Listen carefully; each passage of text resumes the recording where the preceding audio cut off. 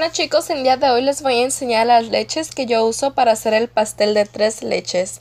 Lo que yo uso para hacer un pastel de 10 pulgadas es una lata de leche evaporada y una leche condensada o lechera como la conozcan y un medio litro de leche para batir.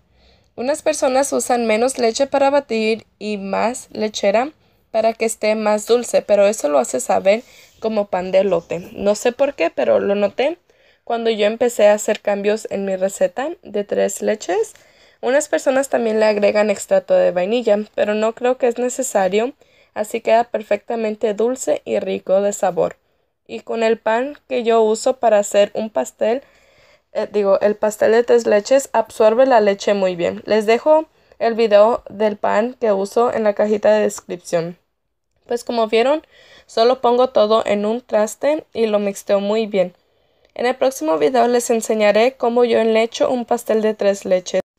Una cosita que les puedo decir es que agarren de la mejor calidad de lechera o leche condensada como ustedes la conozcan y es un sabor muy diferente. Al igual que con la leche para batir, la más cara que encuentren en su supermercado, mejor.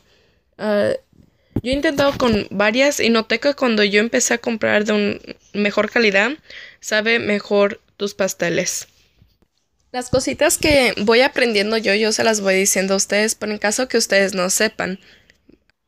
El pastel de tres leches es el ah, sabor de pastel que a mí me encanta. Yo lo he pedido desde chiquita y pues yo no estuve contenta hasta que supe cómo hacerlo en casa.